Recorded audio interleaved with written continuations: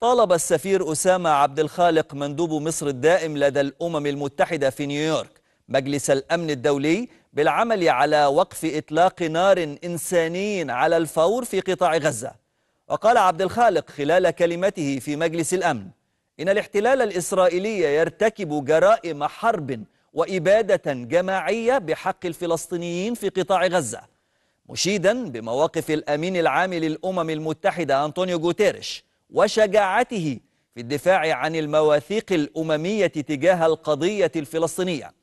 وأكد مندوب مصر لدى الأمم المتحدة أن جرائم المستوطنين تتصاعد في الضفة الغربية تحت سمع وبصر جيش الاحتلال داعيا مجلس الأمن للتعامل مع الأوضاع المأساوية في قطاع غزة المحاصر.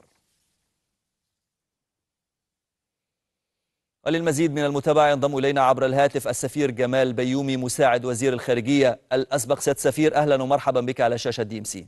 أهلا بك وبالشاشه سيد سفير جهود حثيثة تبذلها مصر مع المجموعة العربية مع كل أحرار العالم الذين يمتعضون من هذا الوضع الكارثي في غزة ولكن في كل الأحوال تواجه تلك الجهود بالفيتو الأمريكي. تعقيبك وتعليقك على التصرف الأخير من الولايات المتحدة والمجهودات المصرية والعربية إزاء هذا الموقف.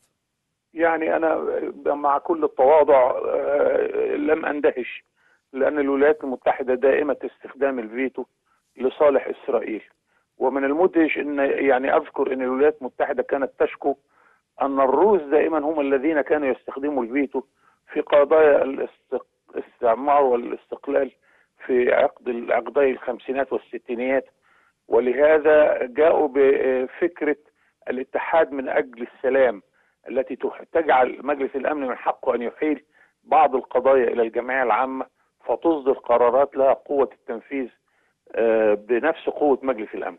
لكن دعني أتخطى هذا كله وأقول لك نفترض إن أمريكا آه، اتخذت خطوة ذكية وسمحت بصدور القرار.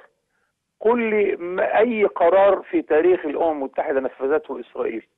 بل أن القرار الذي صدر في الأمم المتحدة سنة 48 بإنشاء إسرائيل نفسها لم تنفذه إسرائيل لأن هذا القرار تضمن القبول بقيام دولة يهودية على أرض فلسطين مع تقسيم الأرض بين الفلسطينيين وبين الإسرائيليين هذا القرار لم ينفذ لأن الخريطة التي ما تسمى بخريطة التقسيم للأراضي الفلسطينية والأراضي ال- ال- الإسرائيلية لم تحترمها إسرائيل.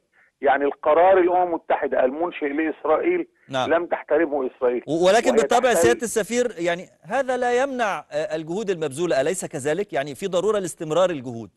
بالتأكيد لأن ده دعم الحق الفلسطيني يكفينا إن 139 دولة أيدوا القرار آه، اللي صدر عن الجمعية العامة.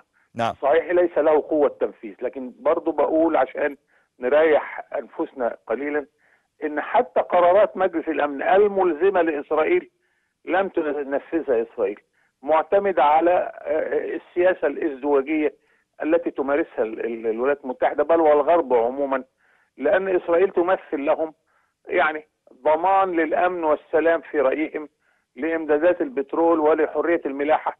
في البحرين. الأحمر والمتوسط. ونجحت مصر في وقت مسيرة السلام أيام الرئيس السادات فأن تثبت للولايات المتحدة أنها تستطيع أن تعتمد على صداقتنا أكثر مما تعتمد على التهديد صحيح عدنا من أيام الرئيس ترامب إلى أنه.